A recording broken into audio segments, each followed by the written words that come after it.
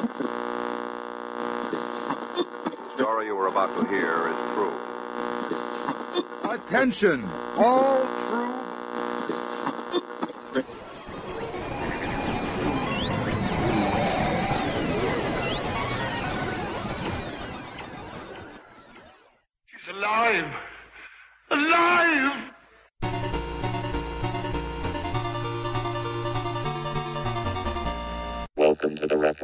College that I attended was primarily a science college, so everyone who went there was pretty much a science major with very few exceptions. It was a great place to be because I'm surrounded with lots of like minded people. At the time, I was studying biology and chemistry, biochem, and was very happy about that. And at the same time, I was very interested in just about everything but biology and chemistry. I mean, here are all these other people learning all these great things, and they love to talk about them. So I think I learned so much more from the people around me that freshman year than I did in class, which means I really wasn't paying enough attention in class, which I had to work on as time went on.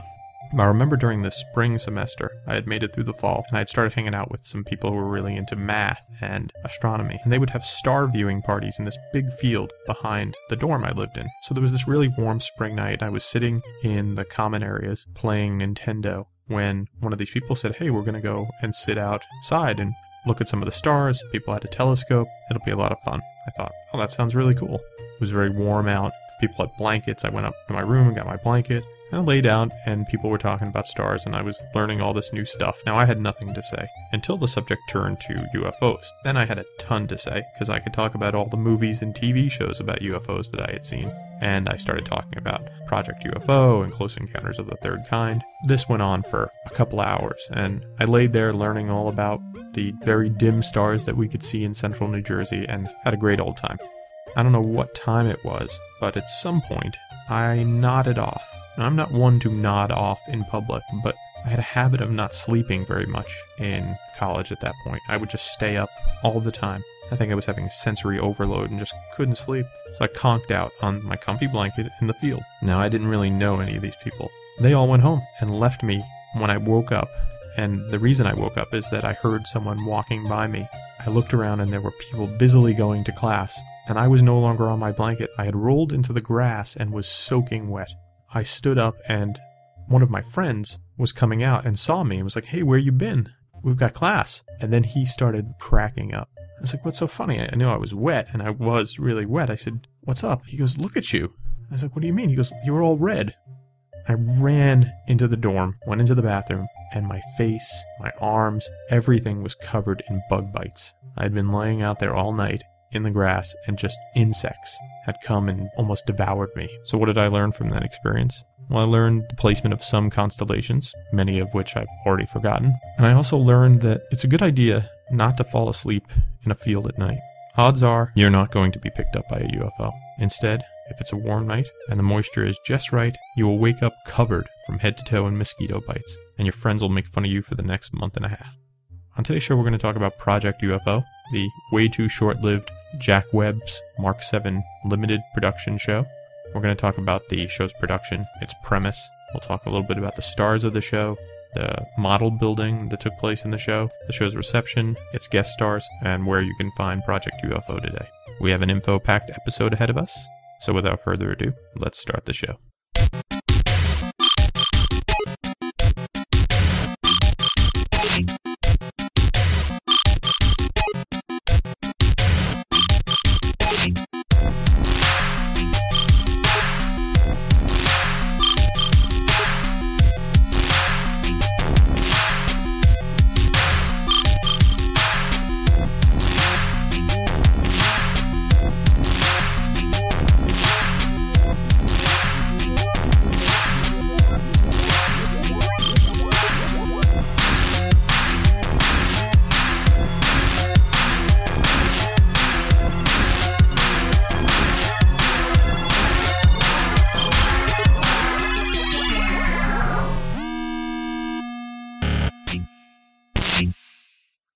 was going to read the intro to Project UFO, but I think Jack Webb from Dragnet, guy who produced the show, can do it a whole lot better.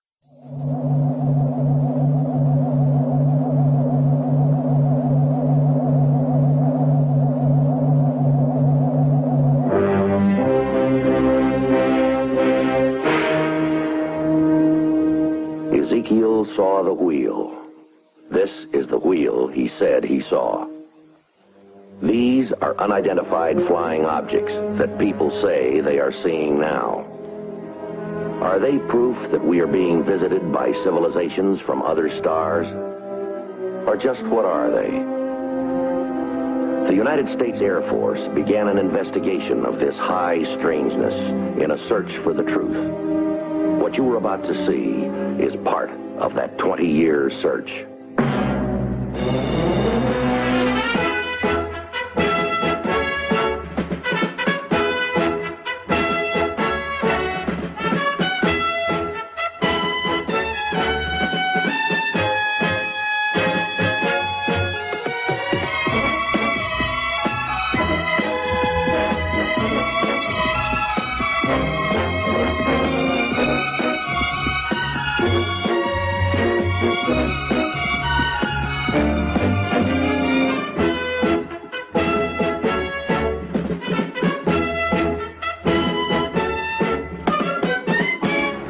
That's the season one intro and the season one theme to Project UFO, and that will change as the show goes on. Project UFO was a television series on NBC, which lasted for two seasons, running from 1978 through 1979, and it was based loosely on the Air Force's Project Blue Book, which was the Air Force looking into UFO phenomenon and deciding if it was real or not. The show was created by Dragnet's Jack Webb, whose production company, Mark 7 Limited, would pour through thousands of Air Force files looking for episode ideas. The show was produced in association with Worldwide Enterprises, which is now CBS Television Distribution. Now, if you have not heard of Project Blue Book, you probably did not watch The X Files or any other show that dealt with UFO phenomenon. For years, Air Force personnel investigated UFO reports. That information was cataloged and eventually would be released when Congress passed the Freedom of Information Act. That Freedom of Information Act opened up governmental files to private citizens, and TV producer Jack Webb thought, well, science fiction is really hot right now. Let's make a show based on this Project Blue Book, and we'll keep it in a similar fashion to Dragnet, and we'll present it in a very factual way. That's really an interesting challenge because how do you produce a show about speculation or what people perceive in a factual way? Well, Webb decided to focus on the investigators, who in season one were played by William Jordan and Caskey Swaim, and in season two by Edward Winter and Caskey Swaim. And we'll talk a little bit about their characters and those actors a little bit later.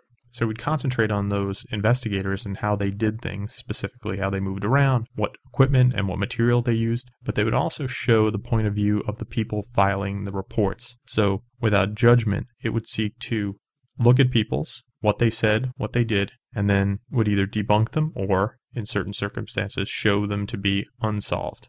And that was what was very interesting about the show.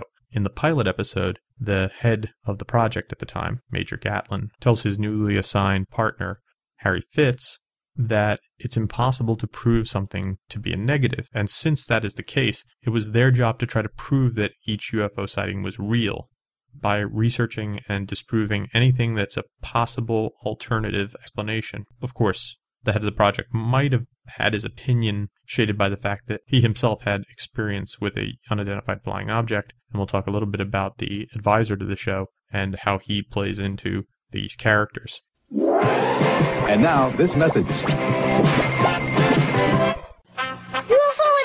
Six batteries not included. You can imagine an alien UFO patrolling the edge of space. Suddenly, it reverses. UFO attack. Your phaser fires ahead. The UFO glows bright red and stops. Then the electronic UFO turns, and phaser ready, it begins again. Phaser firing, no time to go. You just got that UFO. UFO attack, an electronic spaceship, comes with phaser cannon console from Castle Toy. On Project UFO, teenagers see a flying saucer and the Air Force must save them from being arrested for a hoax. Something from outer space actually landed in those woods. Sunday, This is Tobor. Tobor, the telesonic robot. Batteries not included. He's under your control. With a click from the telesonic commander, to circle. To proceed forward, to circle.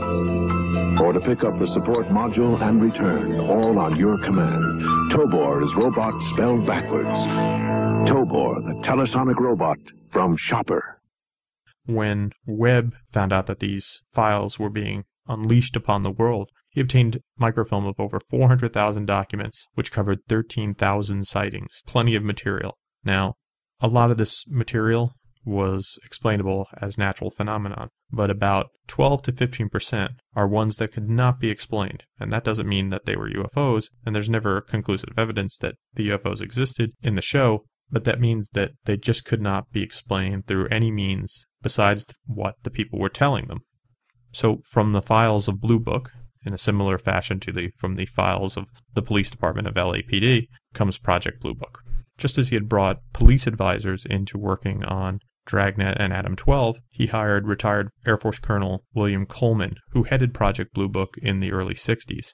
Coleman was interviewed and said that he had had a experience with a UFO early on in his career, which enters into the series right in the character of Jake Gatlin, who was loosely based, I guess, on Coleman.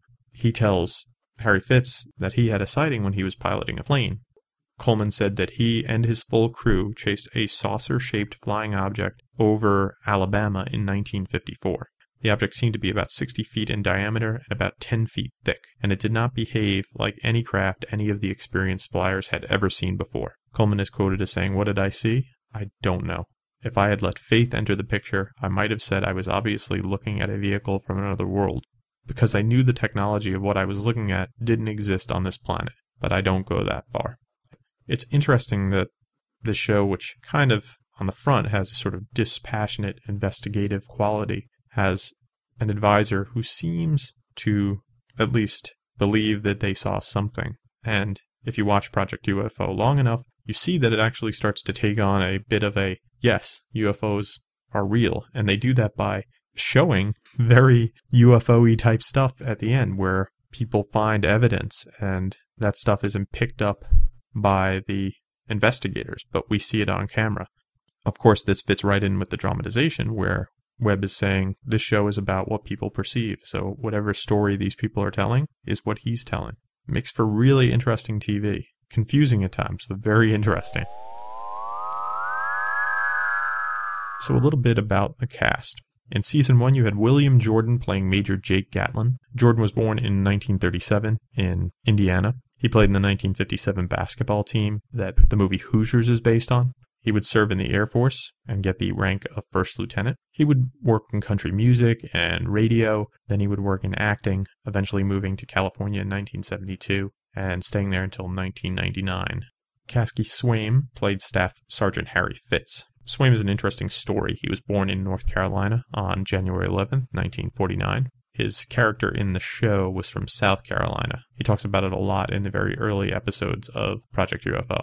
Project UFO was the first television role he ever played. He had no acting training when he moved to Los Angeles and was discovered while working as a bellhop at a hotel on Sunset Boulevard with a small role in March of 77 in the Henry Winkler film Heroes. It was from that that his agent would meet with Jack Webb's people and that he would get this role in Project UFO. So he's virtually unknown at the time.